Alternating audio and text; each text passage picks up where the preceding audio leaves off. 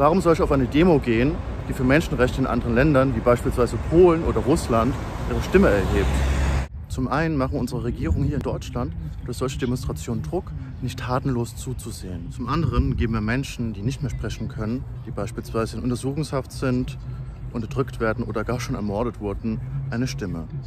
Darüber hinaus können wir die Medienaufmerksamkeit dafür nutzen, um aufzuzeigen, wie wir Menschen in anderen Ländern helfen können.